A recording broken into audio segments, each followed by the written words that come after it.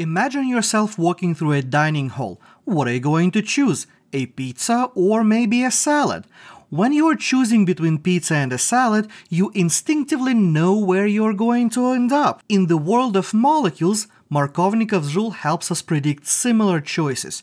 Hey everyone, Victor is here, your guide to all things organic chemistry, and in this video I want to talk about the Markovnikov's rule, what exactly it is, and why it is one of the most misunderstood rules in organic chemistry. So grab your cup of coffee, a notebook to jot down the important bits, hit that like button for good luck on the test, and let's dig in! In 1870s, Russian chemist Vladimir Markovnikov published his observations of the outcomes of the hydrohalogenation of alkenes.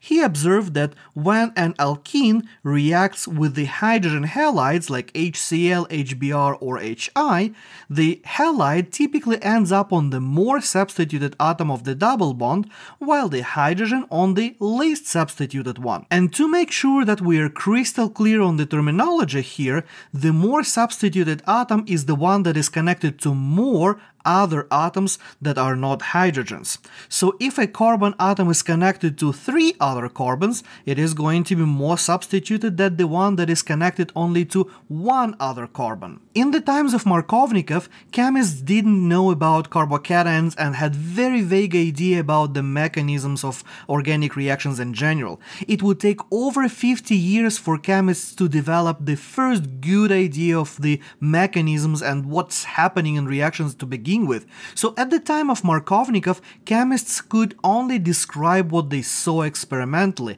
but they couldn't explain their observations. Now, of course, we know better.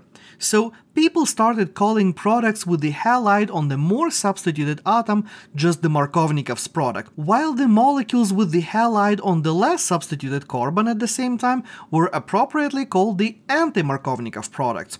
And this notion slowly but steadily spread onto other reactions and people started calling any molecule with the group of interest on the uh, more substituted atom as the Markovnikov's product. And now we often come across the reactions that make Markovnikov's alcohols, or Markovnikov halohydrins, or Markovnikov vicinal dihalides, etc., which naturally makes it very confusing what exactly that entails in every single case. Well, now I'm going to tell you something very important here. Markovnikov's rule, just like the anti-Markovnikov's rules, do not exist. They are a fiction. Likewise, it's really silly to talk about the Markovnikov or anti-Markovnikov products. Both rules follow the same fundamental mechanistic principle of organic chemistry in any reaction will always form the most stable reactive intermediates. And for as long as you follow this fundamental principle while working through your reactions, you will always come up with the correct product and will never need to memorize whether the reaction follows the Markovnikov or anti-Markovnikov or whatever else rule.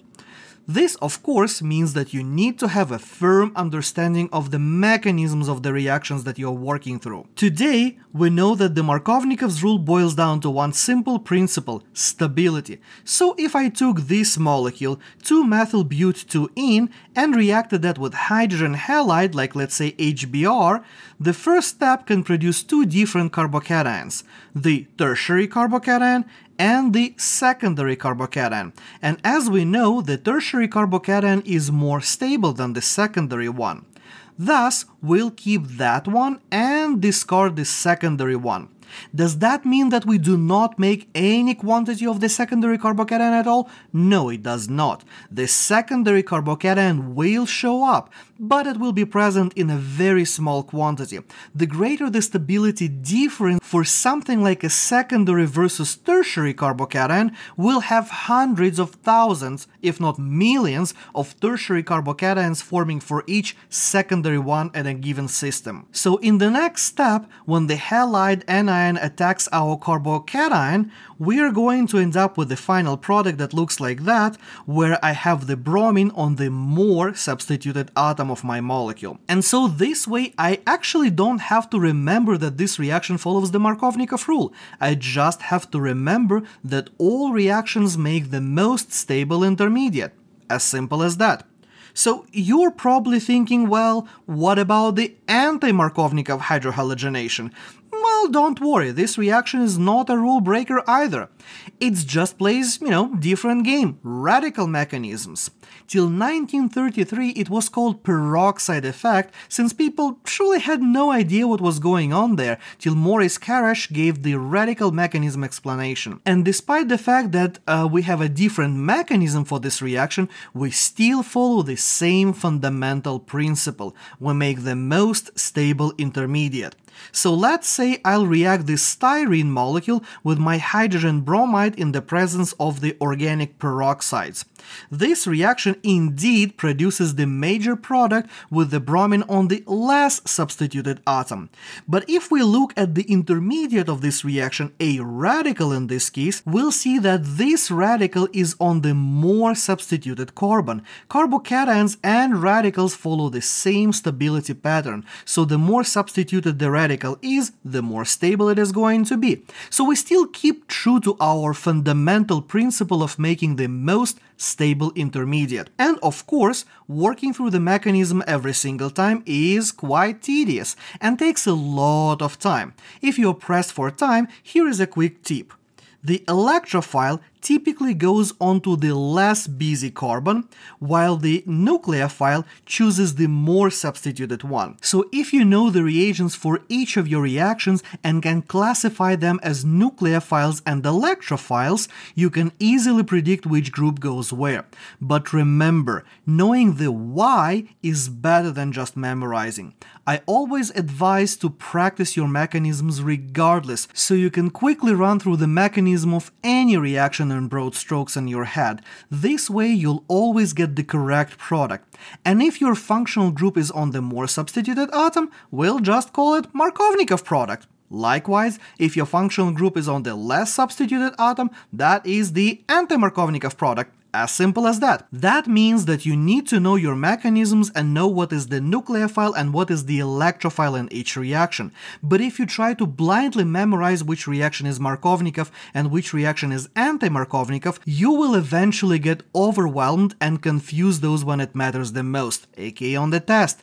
You can write down this table as a quick reference guide for the most common reactions, but remember, memorization will never trample understanding, so rather rather than trying to memorize it, always emphasize the why factor and consciously think mechanistically about your reactions. So for each reaction that I have here on the screen, do write the mechanism with some sort of a sample alkene so you know where things are and what's going on there. So there you have it. Markovnikov's rule isn't that mysterious as it seems, right? With a little practice, you'll be predicting those reaction outcomes like a pro.